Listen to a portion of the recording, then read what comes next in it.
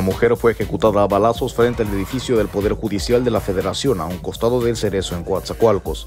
El cuerpo de la mujer, quien se desconoce su identidad, quedó tendido sobre la avenida Universidad junto a un arcomensaje a escasos metros de un par de vehículos que estaban estacionados. Un bebé de cuatro meses fallecido y dos adultos heridos es el saldo registrado la mañana de este lunes al volcar un auto en el que viajaban sobre la autopista Cosoracaque-Novoteapa, a unos metros del puente Antonio Jaime, también conocido como Coatza 2.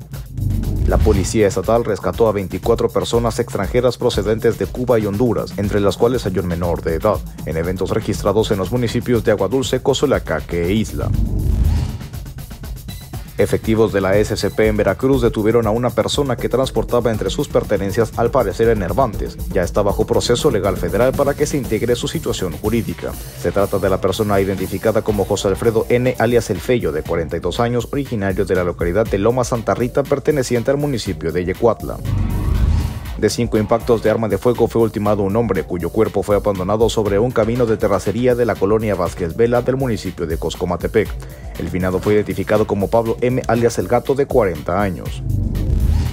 La madrugada del domingo, personal de la Fiscalía de Coatepec se trasladó a la carretera Coso-Atlante-Ocelo, donde una mujer que presentaba heridas con arma de fuego y que era trasladada en una ambulancia a un hospital falleció.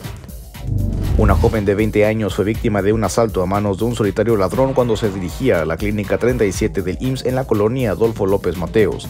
Este atraco ocurrió a las 9 horas sobre la calle Eliodoro Cruz entre Del Tanque y Margaritas a escasos metros de las instalaciones de la Unidad de Medicina Familiar en Coatzacoalcos. Mediante operativos de vigilancia, oficiales de la SCP lograron la detención de cinco presuntos narcomenudistas en los municipios de Córdoba, Orizaba y Taxoquitlán. La policía detuvo a estas cinco personas por presuntos delitos contra la salud y les aseguró 54 dosis de enervante, así como tres motocicletas.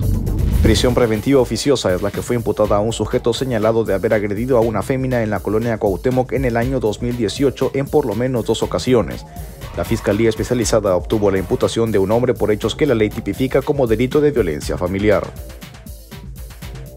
Ante la Fiscalía General del Estado fue puesto el taxista identificado como Sergio N. como probable responsable del delito de pederastia en agravio de una menor de 16 años. El sujeto habría sido sorprendido por policías en el momento que presuntamente llevaba a la menor a una habitación de un hotel.